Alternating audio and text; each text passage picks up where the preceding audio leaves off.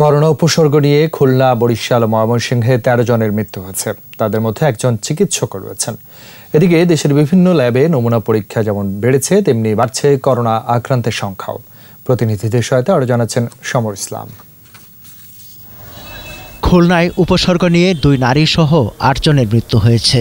Khulna medical college হাসপাতালের isolation ওয়ার্ডে চিকিৎসাধীন অবস্থায় তাদের মৃত্যু হয়। স্বাস্থ্য বিভাগ তাদের নমুনা সংগ্রহ করেছে।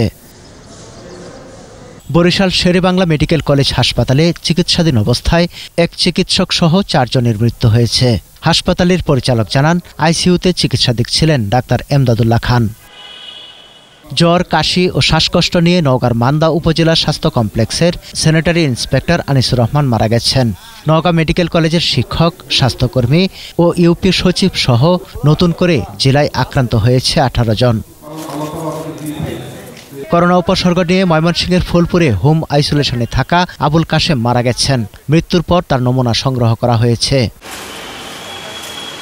উত্তরের জনপদ রংপুরে চব্বিশ ঘন্টায় এক চিকিৎসক ও দুই পুলিশ সদস্য সহ পনেরো জনের করোনা পজিটিভ হয়েছে। এ নিয়ে জেলায় আক্রান্তের সংখ্যা সাতশো পঞ্চান্ন জন। সিলেটে নতুন করে আরও চুরানব্বই জন করোনা আক্রান্ত হয়েছেন। আক্রান্তদের একষট্টি জন সিলেট ও তেত্রিশ জন সুনামগঞ্জের। কুষ্টিয়ায় সাত ব্যাংক কর্মকর্তা সহ নতুন আরও একুশ জন করোনায় আক্রান্ত। মোট আক্রান্ত তিনশো আটাশ জেলায় আঠারোটি রেড জোনে একুশ দিনের লকডাউন চলছে।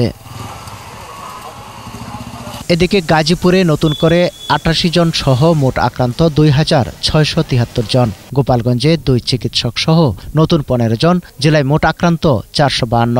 দিনাজপুরে নতুন চোদ্দ জন সহ চারশো তিরাশি, নাটুরে নতুন বিশ জন সহ একশো সাতাশ, পঞ্চগড়ে নতুন সাত জন সহ একশো বাইশ, পটুয়াখালীতে নতুন নয় জন সহ দুইশো তেত্রিশ, সিরাজগঞ্জে নতুন সতেরো জন সহ দুইশো তিহাত্তর এবং ঠাকুরগাঁওয়ে নতুন দুইজন সহ একশো তিহাত্তর জন করোনা আক্রান্ত হয়েছেন।